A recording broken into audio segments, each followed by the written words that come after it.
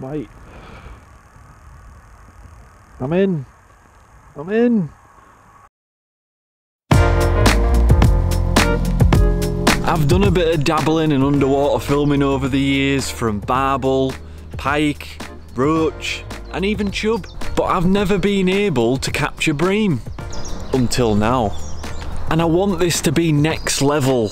I want to be a pioneer. So over the last couple of weeks I've been developing an underwater filming system and it has to be perfect because I'm going to be lowering this thing into 30 feet of water. So if there's one slight leak, the pressure at 30 feet deep is high, so one slight leak, I've wasted my time, effort, and money. But I think I'm at the stage now, the device is ready, I've done the checks, it's time to go fishing.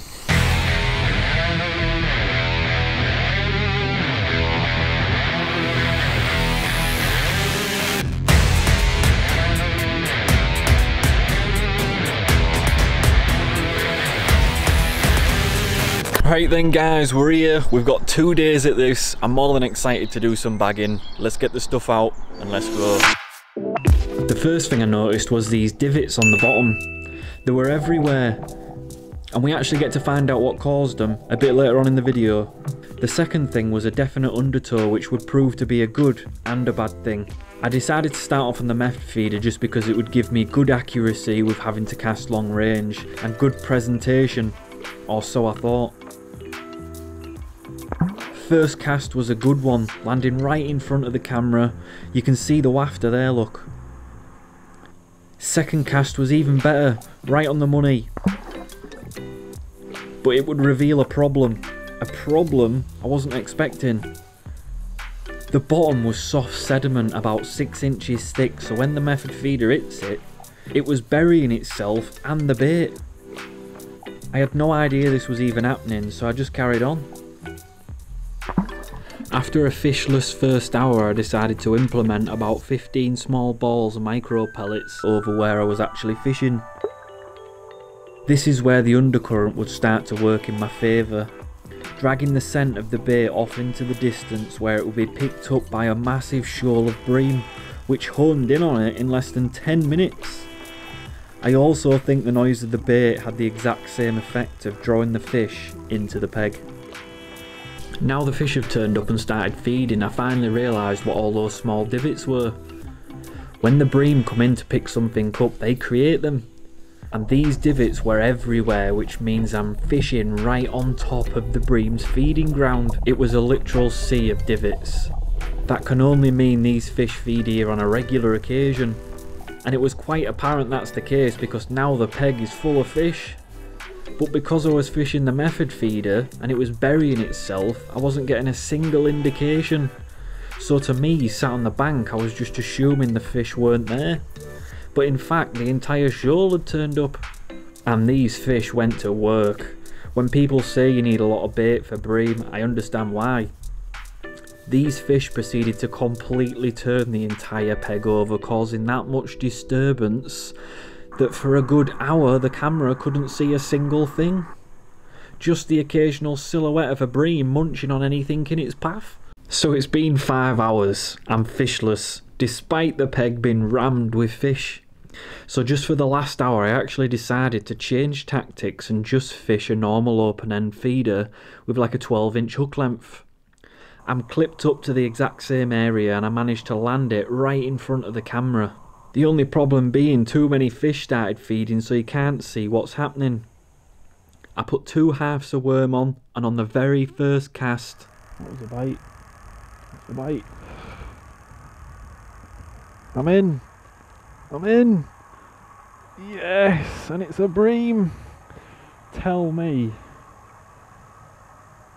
You have to tell me. That's mad how quick of a switch to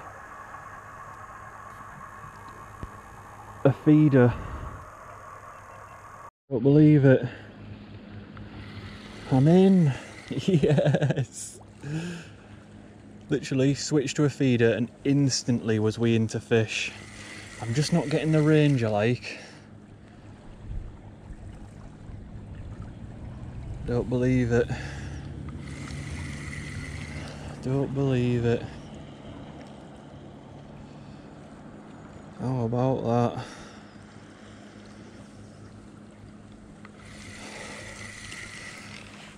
First fish. Oh, come on, some fish out there now. Come on, big lad. There you go. There you go. As soon as it sees this net, it'll be off.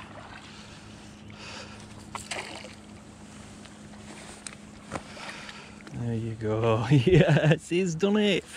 Surely I have to have captured that. Surely. Look at that. For an absolute beautiful. Yes. An instant response to fishing an actual feeder. Look at that for a slab. Yes.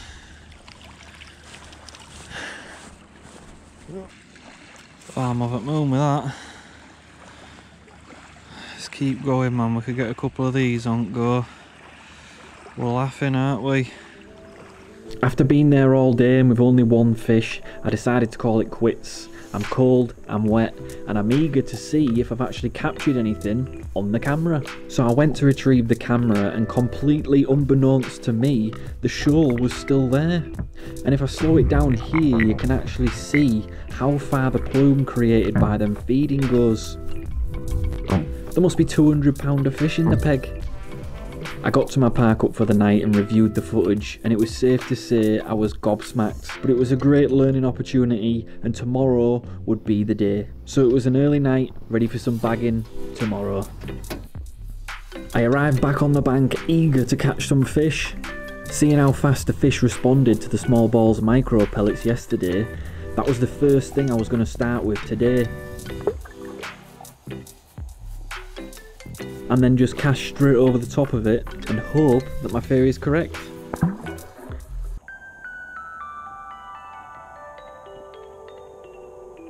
Watching the feeder fall through the water made me realise that the hook length and bait would ravel up straight on top of the feeder. Improving on the efficiency of this rig would be a swift change to a stiffer and shorter hook length so next time I might try that. But this didn't deter these hungry fish. Eight minutes after the last ball of micro pellets goes in, the first fish arrives and honed in straight onto the corn hook bait. Capturing the exact moment it hooked itself, picking the bait up and trying to swim away only to realise it can't.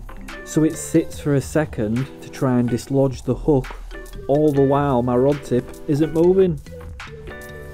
It eventually decides to bolt off finally alerted me of its presence. That was like on the drop right there. I've put the camera facing the other way today because yesterday there seemed to be like an undercut, an undertow. And that was no good. The, all the bottom was like going into the camera, whereas this time it's gonna go away from the camera. Bigger than I thought. Boom, they turned up. So that dinner bell, no problem, didn't they? Hey?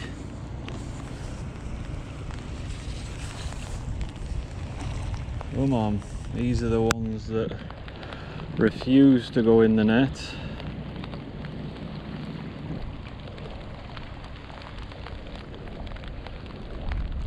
Come on.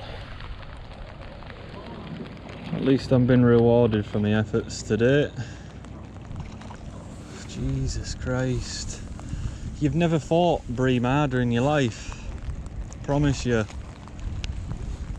You're sent in there, yes. Yes. First fish. Have a look at you.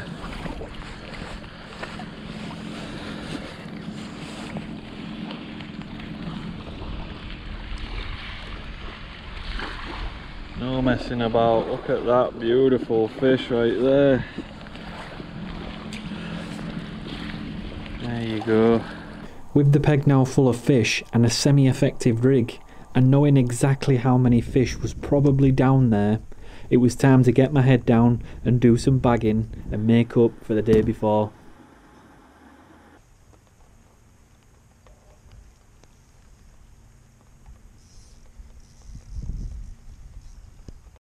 We're in again. That was right in front of the camera, that one. After we've seen summit. No messing about. There's loads of fish out there. The amount of line bites I'm getting is ridiculous. This is probably like a perfect day for a bit of bream fishing. This feels like a better fish. You know, I seen a comment of a day and it was like, um, I'm not really interested in bream fishing because they don't give a fight, man. You come and try and catch some of these bad boys. I'll show you a fish that can fight. Look at it. It'll take line off you and all sorts. Come on, was it? You say it sees the net and it's like I'm out of here. Look at that, taking line off me. How about that? You just ain't caught the right bream, that's what you ain't done. Come on. Get your head up. Get your head up. Give up. There you go, that's a proper one. That's a proper one right there. Beautiful. I could be in for a good day, you know, I learnt a lot yesterday. I'm turn all that, look at that, that's a proper slab right there. Be five pound that. It'll be five pound.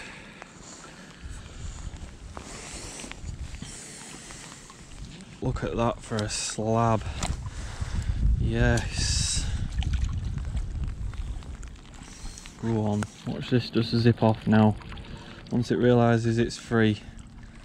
See you later on. After that fish, and on the very next cast, two minutes had gone by before it ripped round again.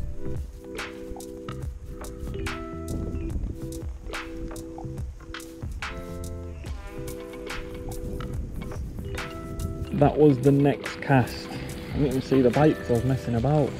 There's some fish out there now. If I could have a net in here,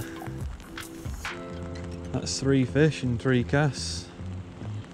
I don't believe it. One after another. One after another.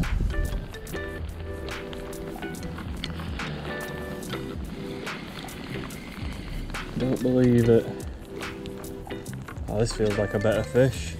It's rock solid. Rock solid. Oh, aye. Oh, aye. We learnt some stuff yesterday and we're putting it into practice today, man. Oh, yeah. Oh, go on. it's that big it won't go in the net. That's a slab, I'm telling you now. Oh my god. Oh my god. It barely goes in the net. Look at the size of it, man. It's six pound, I'm telling you. Look at the size of that. What is that for a slab then? Oh my, that's one of the bigger ones out there. Wow. Deciding to fish the worm has definitely paid off, and it's because they sit right on top of all the sediment, waiting for one of the many fish in the peg to pick it up. And with these hungry fish, it didn't take long.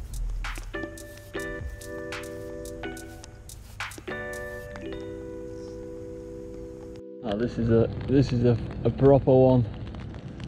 Won't move. Go on. Oh yeah. Proper one. Proper one.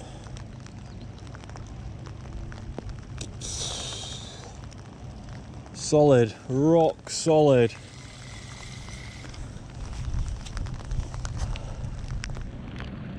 Come on, big lad. Rock solid. When they're there, they're there. I bet there's a massive shoal out there. Best have that clutch set right as well, because if they want to go, they're going. There's another big one.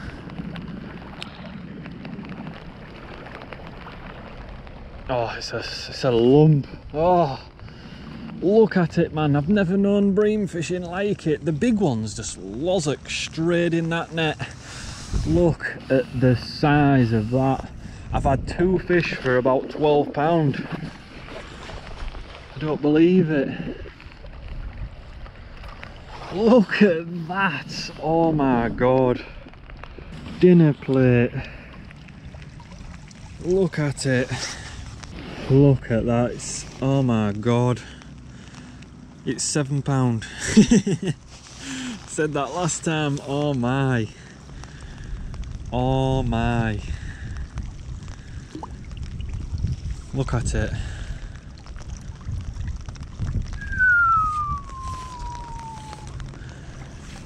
They are some slabs right there. This is what we came for. This is how furious these fish fed all day. Here's a six hour time lapse of the peg. Safe to say with a half decent rig, you're going to do some bagging. And that's exactly what we did.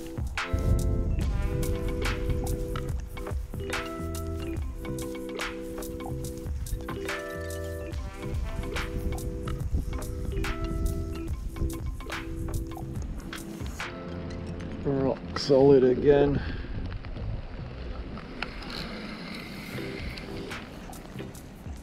Full of fish, man. Full of fish.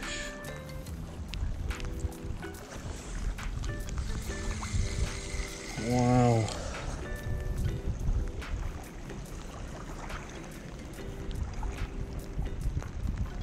It's just one after another. Don't believe it. This one's coming right at me.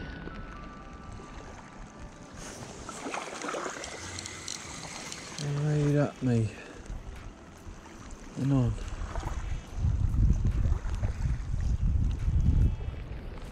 Like I say, this is where this is where you lose fish. You just go steady. Till they give up. Come on.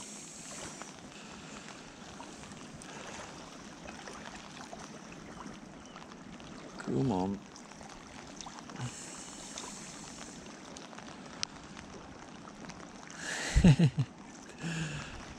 Point blank refused to go in net.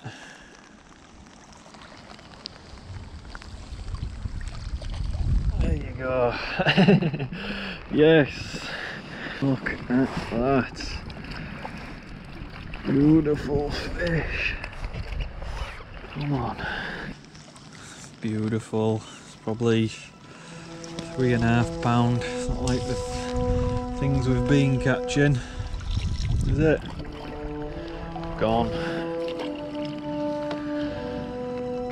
Right, this is my last cast because I'm soaked up bone. No point in putting brolly up because it'll get turned inside out. After a remarkable couple of days it was time to leave, but the best thing is I get to take all the knowledge that I've learnt with me.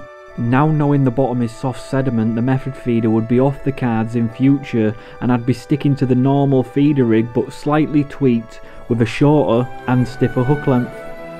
Coupled with baits that will sit on top of the sediment, I think my first £100 bag of bream would definitely be on the cards this year. The last couple of days has been the most insightful couple of days fishing I've ever had in my life. Seeing how the fish respond to the implementation of bait and the noise that it makes was crazy. I'd always had the inkling that that was the case but seeing it firsthand was going to change my style of fishing forever. Seeing how fast a shoal of bream can take over a peg and completely empty it of bait was also unbelievable. So a hike in the amount of bait going in is definitely going to be necessary in future. But the best thing by a mile was that all the hard work I'd put in to develop the camera system had paid off. showing me things I couldn't have dreamed of, and debunking a bunch of myths along the way. So the only thing left to do is to figure out where we're going next.